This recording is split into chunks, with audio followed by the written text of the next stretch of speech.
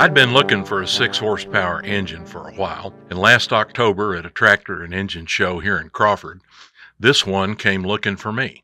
Mike Sullivan had this McCormick Deering 6 horsepower Type M on his trailer. We quickly made a deal. Mike's a great guy, and after the show, he and a couple of his buddies brought it up the road to our ranch. We used my tractor to lift it off the trailer and onto a couple of timbers outside my shop.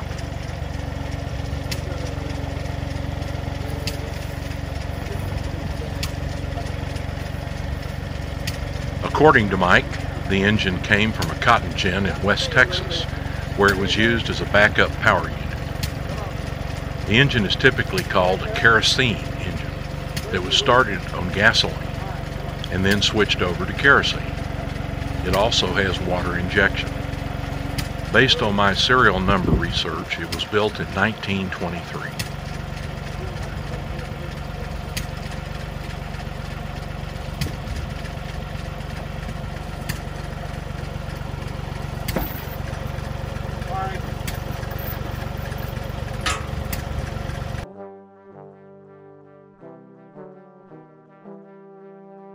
First thing I did was photograph the engine from every conceivable angle. I made sure to shoot all the detail parts literally from the bottom up. You'll note it was pretty dirty and covered in surface rust. All the parts appeared to be there and intact, and the flywheels turned over with good compression.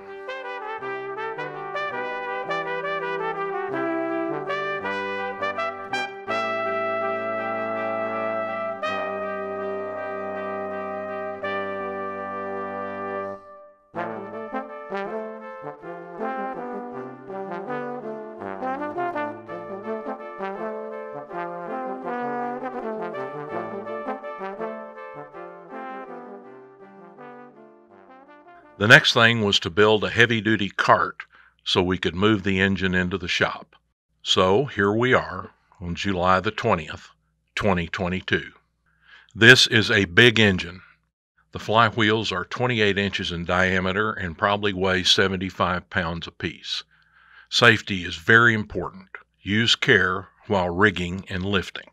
I first took off the mixer. The studs were just too tight to remove.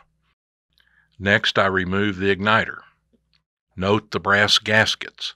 These are extremely important, as I'll explain later when we talk about the magneto. Here's the front of the engine with the head removed. You'll need at least a half inch drive ratchet and up to 1 and 1 16th inch sockets and combination wrenches, as well as a piece of 2 inch pipe for leverage and persuasion. Looking inside the cylinder sleeve, we see a lot of carbon deposit at the top end, but fortunately no scoring of the cylinder wall. The stud bolts were seriously frozen in place. Note also all the holes. The 6 horsepower head is water cooled, a feature not seen on smaller Type M's. Here's the head as removed. The gasket is, of course, shot. There's a lot of gasket compound residue which required lacquer thinner and a wire brush to remove. I soaked the entire head in this five gallon bucket of Evapo-Rust. After a rinse and some wire brush work, it looked great. The exhaust valve was worn down pretty bad. The intake valve was probably okay, but I decided to order a new set from Flywheel Supply. On arrival, they were beautiful, brand new valves. But my engine has low tension igniter ignition. Most 6 horsepower Type M's are high tension spark ignition and have larger pistons and valves, as Paul at Flywheel explained. While they would work, I decided to keep the new valves and find me an automotive machine shop. As a teenager, I hung around a hot rod shop in the early 1960s. Boy, those were the days. Well, I met a guy about my age that owns a real hot rod and engine rebuilding shop in Waco. Outlaw Jack had fuel dragster trophies all over his walls and hundreds of blocks and heads being worked on. He also builds custom racing engines and was extremely interested in my project. His shop is fully equipped for all types of engine work, from regrinding crankshafts to cylinder boring, valve making, and grinding. Outlaw and I talked and talked and called the flywheel supply folks about the valves, guides, and tolerances. The takeaway was simple. My 6 horsepower M is not a racing engine. Tolerances, close enough's okay. Precision machining is not necessary. Jack was excited and said he would turn the new valves, grind the seats, and make some other refinements. I left the head and new valves with the outlaw, but more on this in the next episode. My workflow for restoring engines and machinery is to soak the parts in solvent such as this. It's used in parts washers and has a very low flash point. Tractor Supply may or may not carry this anymore. I use a siphon sprayer with my air compressor, and it works really, really well. Evapo-Rust, while expensive, works great. A 24 hour soak is usually necessary, followed by a water rinse and blow dry. A wire brush on my grinder or drill motor really helps as well. I use Rust-Oleum Red Metal Primer. With the extreme dry heat we've had this summer, all the prime parts enjoyed a good 12 hour bake in the Texas sun. Here's the mixer before and after the cleaning, priming, and painting process.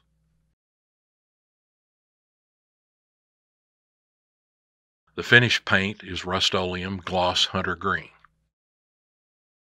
And these are some of the other parts removed, cleaned, and painted. I used small zip bags to keep all the parts together. It was time to tackle removing the flywheels. As you can see, the heavy duty cart was a big help. This is a Gib key. If you want to know all about them and all about Type M engines, watch Shopdog Sam's massive video collection on YouTube. He be the man. I learned about PB Blaster and a whole lot more from the shop dog. I made a drawing and pal Jake Holmes plasma cut the gib key puller. The two gib keys came out just as the shop dog said they would. Go check out his channel and watch. He's a lot more colorful than I am. Here's how I used an engine hoist and wheel puller to remove both flywheels.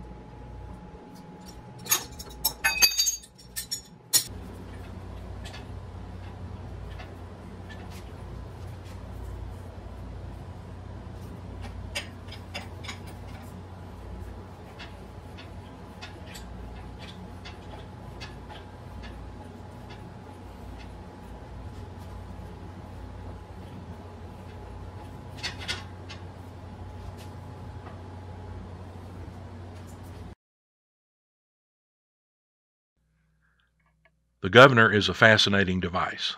Here's what it looks like, removed and all cleaned up. The governor side flywheel has a hub machined inside and out. This is where the governor fits. With both flywheels off and on furniture dollies, it was time to tackle the main bearings side plates, piston, and crankshaft. But first, I made more pictures to help me keep things straight. So away we go. Removing the bearing caps was pretty straightforward.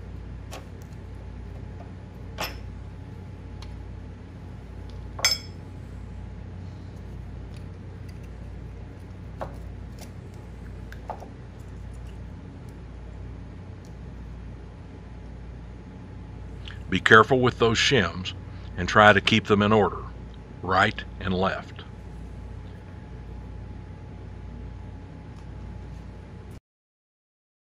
I removed the connecting rod, bearing cap, and shims, but did not pull the piston out at this point. The engine hoist was called back into service to hold the crankshaft while I removed the governor side side cover. The magneto side side cover must be removed in order to get the crankshaft out of the block.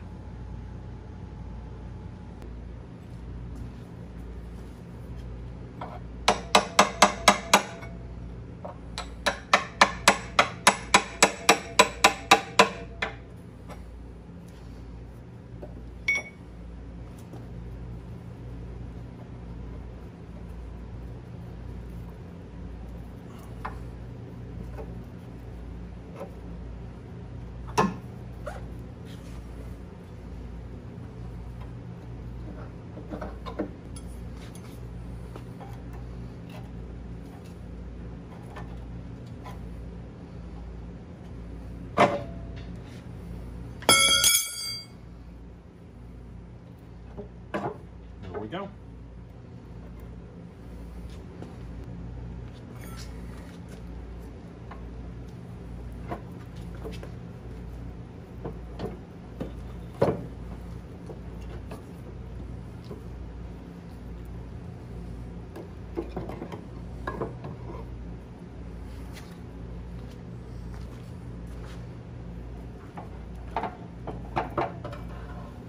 And one crankshaft. Once the side covers and crank were out of the way, the piston was pulled out with ease.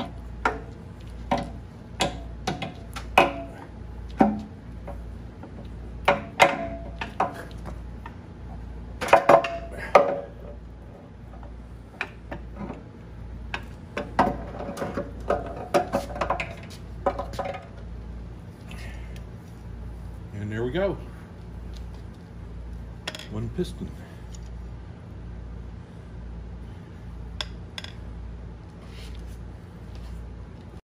The rings and piston looked okay to me, but the outlaw wanted to give them a good going over, as well as the cylinder liner and the crankshaft itself. He was fascinated with the crankshaft lubrication system, which we'll go over in the final episode. The side covers shown after the treatment. The Babbitt bearings were in extremely good shape. We'll finish up part one now by cleaning and prepping the flywheels. Now, these suckers are heavy, but thankfully my sweet wife helped me turn them over.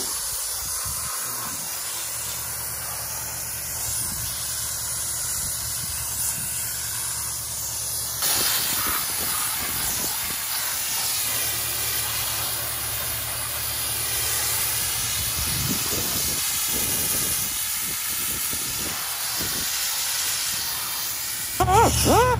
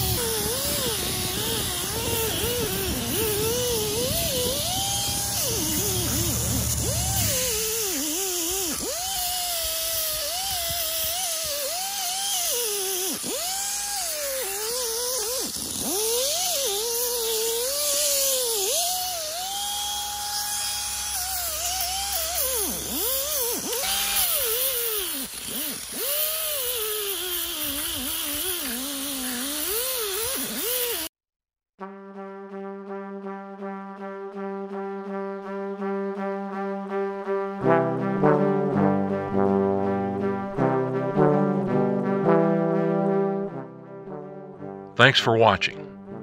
Part 2 will be along very shortly.